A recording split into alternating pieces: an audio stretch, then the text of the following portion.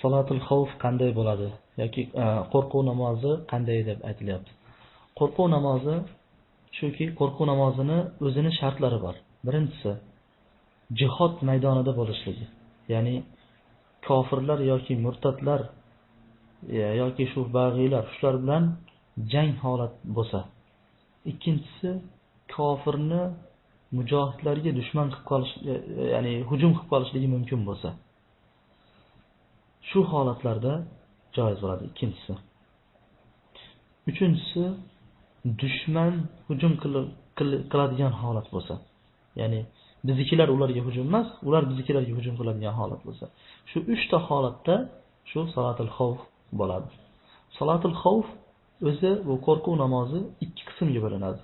Birinchisi juda ham e, yo'q, birinchisi yengil qo'rquv, qattiq qo'rquv emas.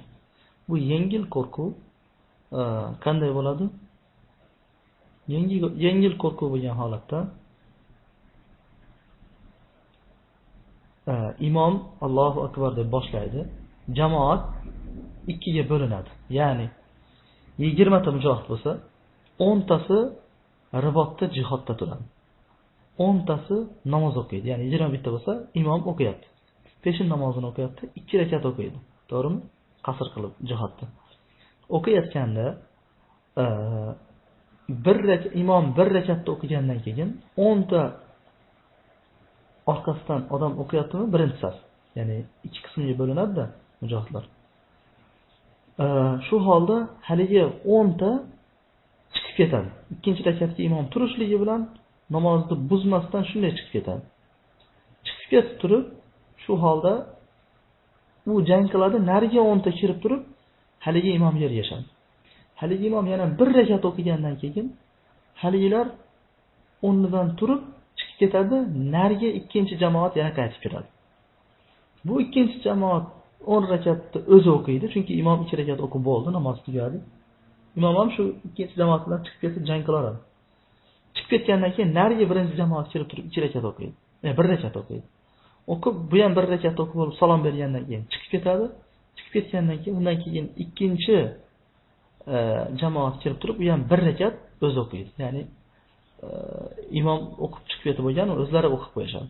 shunaqa qilib o'qiydi. E, bu yengil qo'rquvda shunday nima bo'ladi. Salatul xavf shunday bo'ladi. Ikkinchisi qattiq qo'rquv deb qo'yiladi.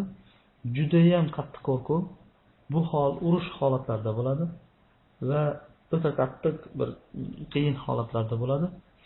Bu holda hamma Qur'onda kelishicha fa aw rukbana. Oyog'ida yoki mingan holatda qo'rqsanglar shunday qilib namoz o'qinglar degan. Ya'ni hamma alohida alohida o'zi imom bo'lib o'qiydi. Ya'ni o'ta jang qizishib ketganda. Lekin shu holatda ham o'qiradi. Va shu holatda ham qiblaga yuzlangan bo'lishligi shart emas. Va e, biror bir allaka holatda bo'lishligi shart emas. Qanday desa bo'ladi? Misol hmm, Allohu akbar deb boshlagandan keyin ham ota-orasiz qo'lingizdan e, cho'ntagingizdan qumbilani granatani chiqarib turib, og'zidan tishlab turib, ochib, kofirga ota-orasiz alhamdulillahi robbil alamin arrohmanir rohim shu namozni o'qiyverasiz keyin allohu akbar deb rukuga ketgandan keyin rukuga ketganda sal engishib turib otasiz tars tars tars tars otorasiz rukudan turganda sal ya'ni ko'tarilasizda otorasiz. Sajdaga borganda rukudan ko'ra pastroq holatga tushasiz otorasiz. Shunaqa qilib otorasiz. Qisqasi bu eng qiyin holatda. E, bunaqa holatlar e, kam bo'ladi hozir shu kunlarda vallohu alam. Lekin baribir bilib qo'yishlik yaxshi narsa bu narsalar.